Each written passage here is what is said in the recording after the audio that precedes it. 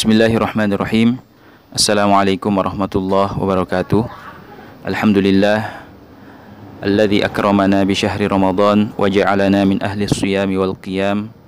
Wassalatu wassalamu ala afdalis sa'imin Wa ahsanil qa'imin Sayyidina Muhammadin Wa ala alihi wa ashabih Sahabat beriman dan kepada seluruh pendengar atau pemirsa di mana pun anda berada InsyaAllah pada video kali ini kembali lagi kami akan membacakan sebuah pertanyaan yang masuk kepada admin Quran online. Adapun isi pertanyaannya adalah Assalamualaikum saya ingin bertanya Benarkah yang harus dibaca saat sholat tarawih itu hanya surah Al-Fatihah jika kita menjadi makmum? Mohon penjelasannya Pak.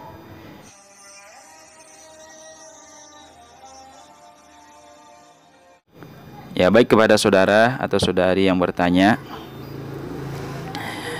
Ya, itu kan di dalam sholat ya baik sholat fardu ya sholat lima waktu ya ataupun sholat sunnah seperti sholat tarawih dan yang lainnya.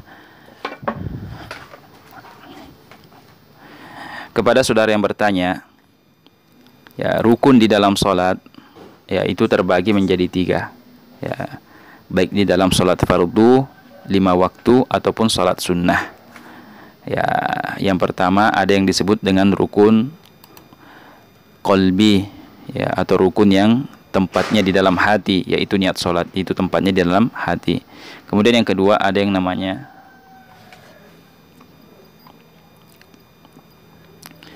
kepada saudara atau saudari yang bertanya, Waalaikumsalam warahmatullahi wabarakatuh. Ya, jadi yang pertama rukun di dalam sholat atau hal-hal yang harus kita lakukan saat kita sholat yaitu dibagi menjadi tiga. Hal yang pertama ada yang disebut dengan rukun kolbi, rukun hati.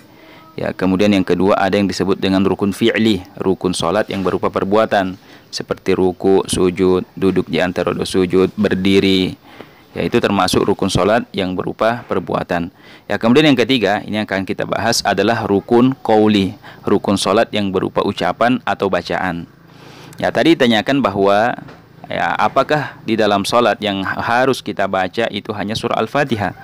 Ya maka jawabannya sebagaimana yang dijelaskan oleh guru-guru kita dalam madhab Syafi'i bahwa bacaan yang berupa rukun di dalam sholat itu ada lima ya bukan hanya bacaan surah Al-Fatihah akan tetapi ada lima yang harus kita baca agar sholat kita sah yaitu harus kita ucapkan dengan lisan kita Ya, kelima bacaannya akan kita sebutkan nanti. Ukuran minimalnya adalah kita memperdengarkan bacaan kita itu ke telinga kita sendiri. Yang pertama, silahkan lihat di layar adalah bacaan takbiratul ihram. Allahu Akbar. Ya, dan ini wajib untuk kita ucapkan baik ketika kita menjadi makmum ataupun kita menjadi imam. Ya, atau sholat sendiri. Kelima bacaan ini harus kita baca. Kapan kita tidak membacanya, sholat kita tidak sah. Ya, jadi yang pertama itu tadi takbiratul ihram atau takbir pembuka. Allahu akbar. Ya, kemudian yang kedua, bacaan surah Al-Fatihah. Ya, bacaan surah Al-Fatihah. Ya, ini harus kita baca dalam setiap rakaat. Ya, itu yang kedua. Ya, kalau sholatnya dua rakaat berarti dua, dua kali kita juga membaca surah Al-Fatihah. Kalau sholatnya tiga rakaat berarti tiga kali juga kita membaca surah Al-Fatihah. Kemudian yang ketiga, bacaan tahiyat akhir. Bacaan tahiyat akhir. Ya, berarti kalau kita sholat yang terdapat dua tahiyat seperti sholat maghrib, sholat isya, sholat zuhur dan sholat asar itu kan terdapat dua tahiyat. Ada tahiyat awal, ada tahiyat akhir. Yang wajib dibaca adalah bacaan tahiyat akhir. Ya, adalah bacaan tahiyat akhir. Adapun bacaan tahiyat awal itu hukumnya adalah sunnah. Ya, merupakan sunnah soh solat, bukan merupakan bacaan yang berupa rukun solat. Ya, itu bacaan tahiyat awal. Adapun yang yang merupakan rukun sholat itu adalah bacaan tahiyat akhir yang kita baca saat duduk terakhir itu hukumnya adalah uh, harus kita baca karena dia merupakan rukun sholat. Ya, jadi bacaannya sama tahiyat awal dengan tahiyat akhir itu bacaannya sama, hanya saja statusnya yang berbeda. Ya, status ya, yang tahiyat awal statusnya merupakan sunnah solat sedangkan bacaan tahiyat pada duduk terakhir atau tahiyat akhir itu statusnya sebagai rukun solat yang harus dibaca.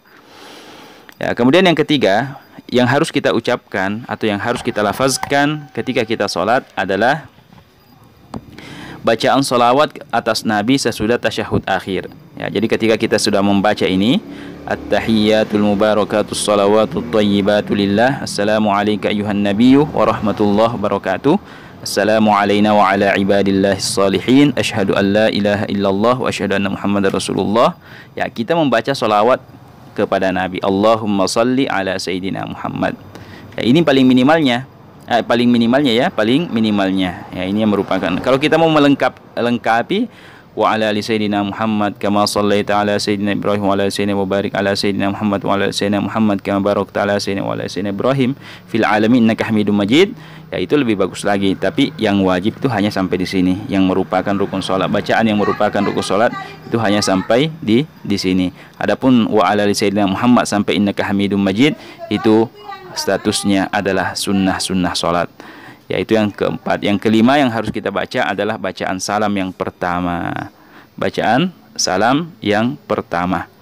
Ya, ketika kita uh, sudah membaca tadi Allahumma sholli ala sayyidina Muhammad, seandainya kita sudah ingin salam, maka kita sudah boleh salam. Ya, dan salam yang wajib itu hanya salam yang pertama yang kita disunnahkan menoleh ke kanan.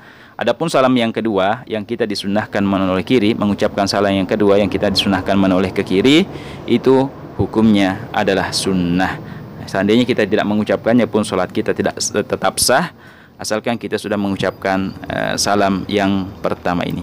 Ya, jadi itulah lima bacaan yang harus kita baca ketika kita sholat, baik sholat fardu ataupun sholat sunnah, baik ketika kita menjadi imam ataupun menjadi makmum ataupun sholat sendirian. Yaitu tadi tahiyat uh, takbiratul ihram, bacaan fatihah, tahiyat akhir, bacaan salawat atas Nabi setelah tahiyat akhir dan bacaan salam ucapan salam yang pertama. Ya, jadi demikian jawaban kami kepada saudara yang bertanya. Semoga menyimak video ini. Lebih dan kurangnya kami mohon maaf. Wassalamualaikum warahmatullahi wabarakatuh.